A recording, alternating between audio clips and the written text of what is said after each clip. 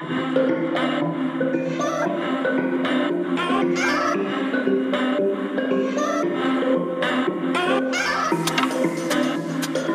guys, welcome back to the channel. I am finally getting around to editing all of our videos from our recent trip down to Walt Disney World in Florida.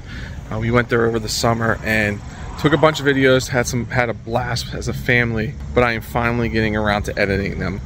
This one's a super short video only because we filmed so much that day that our phones overheated, but this footage is from the parade at the Magic Kingdom that they normally do during the day uh, we were set up, we were watching the parade, had a blast, but as soon as the parade passed us, we got behind the parade to leave the park for the day to go back to the pool. Once you see that blue rope, that means that is the end of the parade. And you can actually start walking behind it. What was super cool about this was we actually felt like we were in the parade. Uh, we walked down Main Street with the parade. Mickey and Minnie were in front of us. Everybody was having a blast, and Main Street sidewalks were packed. And as you could tell by the footage, it honestly felt like we were in a parade. So enjoy this footage of that and some steel clips towards the end.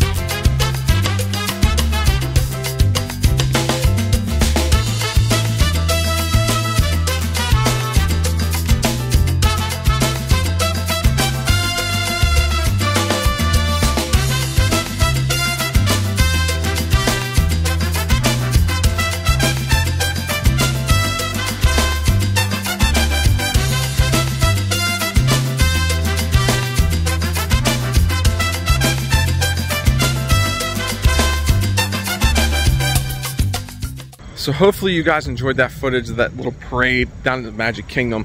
Next time I know to prepare for that so I can get more footage of the parade as we're walking in it, kind of. So if you guys enjoyed that video, smash that thumbs up down below. Like, share, comment, all that fun stuff. We will be having more Disney videos coming out in the future, plus some other travel videos and other videos in general. And also, if you need help booking your Disney trip or booking a Disney trip, please feel free to reach out. We also signed up to become a travel agent now. So we can definitely help you out and give you some tips and tricks, the stuff that we learned along the way. So until the next video, guys, see you later. Bye.